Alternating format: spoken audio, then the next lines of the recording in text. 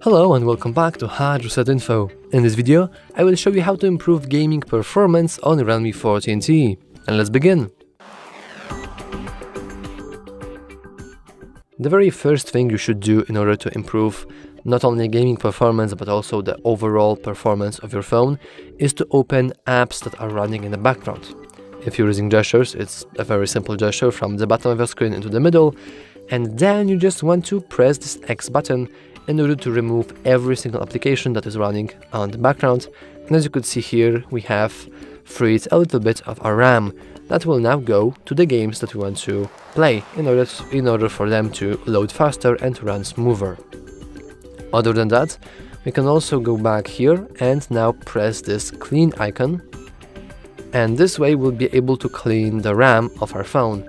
Currently it's not that much, it's only 33, uh, 34 megabytes, but we can clean it anyway in order to save some precious um, things.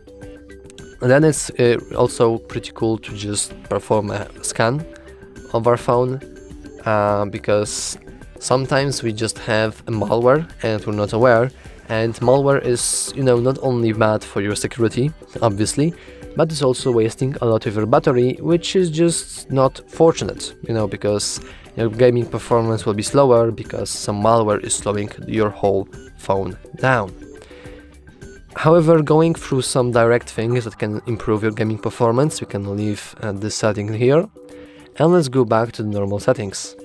In normal settings, you want to scroll all the way down and go to accessibility and convenience. Now you want to scroll down and here is something that is called AI Boost.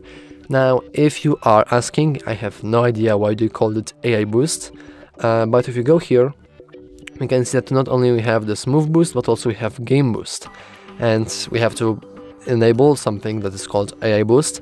And now we can increase the minimum CPU frequency. That will increase the stability of our games. And also minimum DDR frequency uh, that will make our games run smoother. Just like that. And as I said before I have no idea why they called it AI boost because um, like I don't know where the point of AI here is. Just improving the quality you know.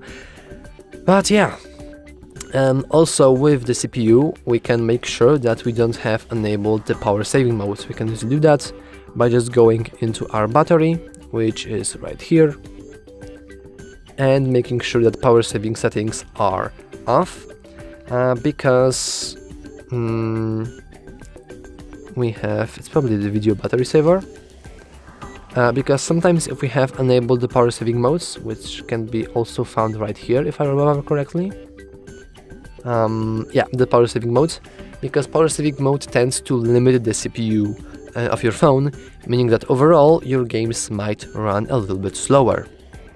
So if you want a smoother gaming experience, make sure to remove anything that's running in the background, make sure to turn off anything that saves your power, and, you know, have fun gaming. And that's all for this video.